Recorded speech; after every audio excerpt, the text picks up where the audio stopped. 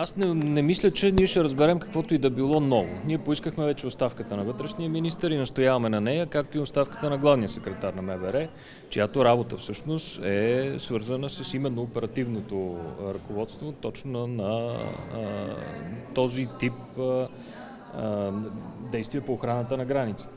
Очевидно е, че професионалното ръководство и политическото ръководство не са си свършили работата. А, помните, до преди година и половина изобщо за подобен тип инциденти не можеше да става въпрос.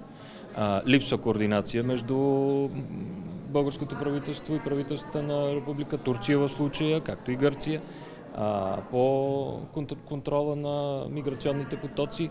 А, за съжаление, наблюдаваме и пик в а, трафика на наркотици. Аз не знам дали а, си даваме сметка доколко е увеличен този трафик и че МВР всъщност изобщо не, не си е свършило работата и по тази тема. А, голям, голям проблем започва да, да става охраната по границата и в крайна сметка в случая не можем да направим нищо друго, освен да поискаме оставката на служебния вътрешен министр и на главния секретар на МВР. Така се отговаря при подобен тип кризи. Добре, обаче това обращение всъщност е насочено към президента, защото този кабинет е негова функция. Ми към президента, да. Той трябва да вземе това решение, защото наистина в, в случай става просто служебно правителство. Единственият човек, който може да освободи министъра на вътрешните работи е президент. А, в такава ситуация е, се намира в момента държавата, затова и има нужда от редовно правителство. А, стига толкова, вече сме си играли на детинщини, на взаимни обвинения. Необходимо е да се състави редовен кабинет, който да има някакво мнозинство зад гърба си тук в парламента и да се управлява сериозно държавата в тази трудна ситуация. Проблемът не са ли натрупвани от години? Какъв, каква е полза? вашия мандат такъв кабинет? Това дали ще има с нашия мандат такъв кабинет, зависи не само от нас. Избирателите са отредили такава пропорция в парламента, че в общи линии това може да стане ясно след разговори. Смятате ли, че са необходими други кадрови промени в служебния кабинет?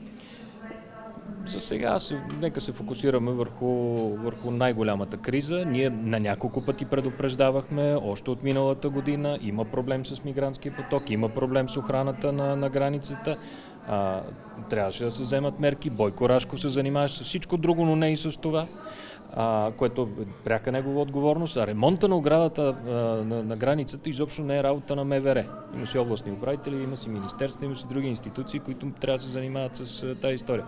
А, така че в случая ставаме свидетели на проблем породен от близо две години бездействие и а, а, непрофесионална работа в МВР и а, фокусиране върху проблеми, които изобщо не са приоритет на, на българското общество. Ще направите ли опит за правителство без продължаване промяна? Те първа, както видяхте, започнаха разговори. Хубаво е, че са започнали. От тук нататък вече ще видим с кой мандат и, и по какъв начин ще трябва да състави редовен кабинет. Благодаря на всички.